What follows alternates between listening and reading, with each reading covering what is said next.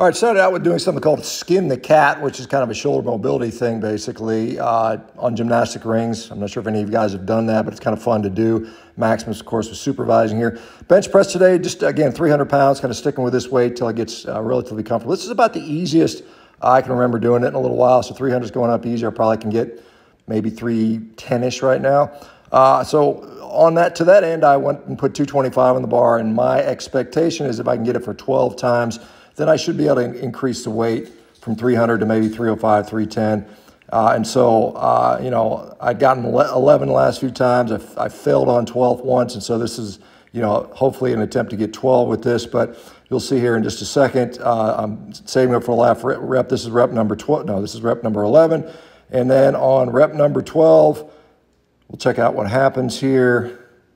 Here we go, boom, and can't get it. So basically I dump it. So no collars on there. This is actually something that's fine to do. I've done this, you know, a few dozen times in my life probably. And, you know, like I said, if you train by yourself, you should probably practice doing this with just like lightweight on the bar so you can get used to that, so you can control it. You know, I, obviously not ideal, better to have a spotter, but if you can't, if you don't have that, Maximus is a great coach, but he's uh, not a particularly good spotter. From there, we went on and did some uh, uh, ring dips, five sets of five with this uh, went fairly nicely. Again, I like doing these rings. There, there, there's a lot of utility you can have with a set of rings.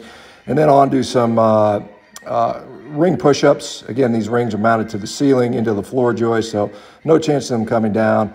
Maximus, of course, is uh, you know intently watching, making sure my form is okay.